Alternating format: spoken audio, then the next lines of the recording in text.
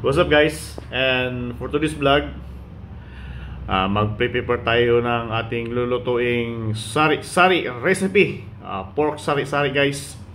So, pangalawang luto natin to dahil may nag-request sa atin na magluto ulit ng sari-sari. Kaya pinagbigyan natin. So, tara, ito na po yung mga lulutuin natin. So, yung dila.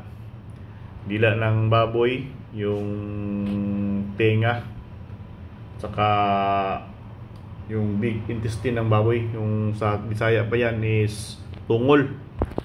So tara guys i-prepare na natin. Yan yung dila malaki. Sa dalawang piraso ng dila lang yan. And then yung tenga. Ayan yung tenga malinis na yan. Ilaga muna natin to siya So yun yung ano, yung tungol sa Bisaya. Tawag sa Tagalog niya, kalimutan ko tawag ta, tawag sa Tagalog yan. Ayan. So yan guys. Ilalaga muna natin 'to. Kalagyan natin ng mga ricado sa ano, paglaga para mawala yung lansa niya. Right. So yan, lalaki no? Lalaki ng mga tinga. So yan guys, uh, before natin sa ilaga, maglalagay tayo ng luya. Ayan, luya. Alright, para yung langsa. And then, lemongrass na walang kupas. Maglalagay din tayo ng dahon ng laurel. Ayan, dahon ng laurel. So, para mabango. Ayan. Para masyadong, mas lalong bumango, maglalagay tayo ng star anise. Ayun. Wala nang kakain nito guys. Hindi na makalimutan yung luto ko nito. Alright, so star anise, lagay tayo. Ayan, tatlong star anise lang yan. Mabango na yan. So, at this point, lalagyan na tayo ng tubig. Then, pakulo na. So, ayan, kumukulo na siya guys. Try natin susukin kung sakto na ba yung lambot. Oh, malo, hindi pa masyado. So, bango niya dahil sa ano dahil sa tanglad luya at saka ano yung ginawa natin yung star anise yan. Medyo malambot naman siya yan o tusok ng tusok na. Galing tumusok ni JJ Ban. Yan di ba? Kunti na lang to mga 15 minutes. Ay malambot na. Yan. Okay right. Yan, mga 10-15 minutes. Okay na to. Okay. Whoops ayan.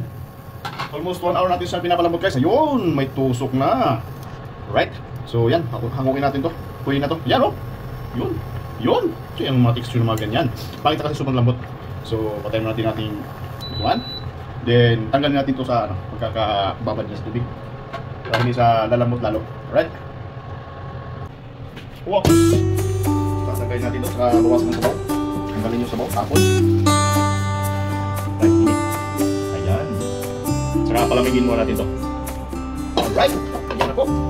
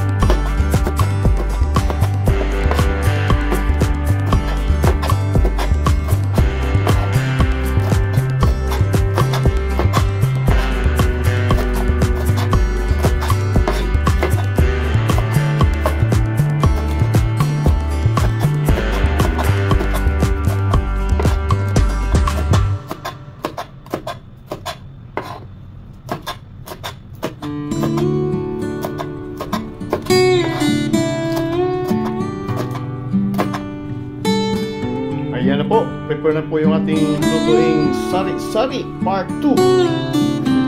So, yun din yung ating slice na karne. So, makakalos natin. Ayan. So, tara. Umpisa natin magluto.